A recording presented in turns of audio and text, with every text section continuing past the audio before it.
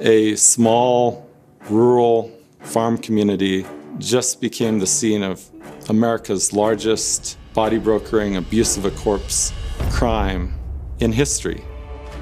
This whole seedy underground that goes on, the death care industry is that it's called now because we want to make it sound so much more civilized. It's totally unregulated.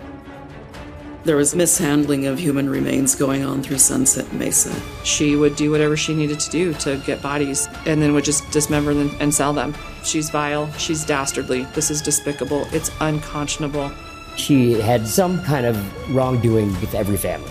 There was never a legitimate funeral coming out of that funeral home, you know, ever.